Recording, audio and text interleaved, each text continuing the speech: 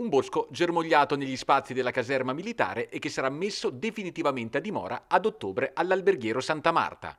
Punto di partenza ed arrivo che avrà in mezzo cinque mesi di un bosco che cammina. Questo è il titolo del progetto nato nel solco del tema La natura della cultura di Pesaro 2024 che porterà un'imponente installazione di 100 fra alberi e arbusti a spostarsi fra alcuni luoghi simbolo della città. A cominciare da Piazza del Popolo dove il bosco comincerà a stazionare da sabato 20 aprile. Un progetto ideato e coordinato dal consigliere comunale Michele Gambini e affidato operativamente ad Aspes attraverso l'architetto paesaggista Olga Moschvina. Sono 100 piante grandi, per intenderci la più alta arriva a 6 metri e mezzo con il vaso e tutto, sono messi in vasi eh, anche quelli di dimensioni molto significative, di un metro cubo, eh, studiati apposta per questa esperienza che servono a tutelare la pianta dagli sbalzi di temperatura, dalla, dalla variazioni troppo repentine di umidità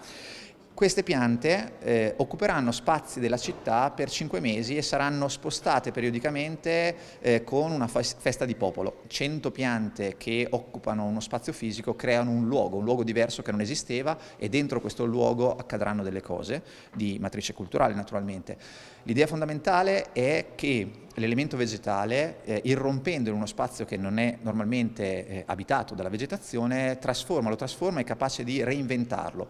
E quindi questo vogliamo produrre. Naturalmente tutto questo deve eh, produrre una trasformazione definitiva. Le piante, come è giusto che sia, a eh, ottobre, quindi nel momento più opportuno per fare questa operazione, andranno a terra, eh, specificamente nel, eh, diciamo nella pertinenza scolastica dell'Istituto Santa Marta, che da luogo desertico, perché oggi parliamo di un suolo totalmente compattato e totalmente sterile, sarà rigenerato, lavorato, si porterà del compost dello stallatico e poi ospiterà queste piante, quindi laddove c'è un deserto ci sarà un parco con delle aule verdi per la scuola, quindi una trasformazione anche di alto valore, eh, come posso dire, pedagogico, ma simbolico, ambientale e culturale. Ogni tappa del Bosco che cammina sarà accompagnata da eventi culturali divulgativi curati dal direttore artistico Sergio Palladino. Il 28 Reggimento Pavia ci ha ospitati e senza quella collaborazione non avremmo potuto farlo, è stata una eh, generosità eh, preziosissima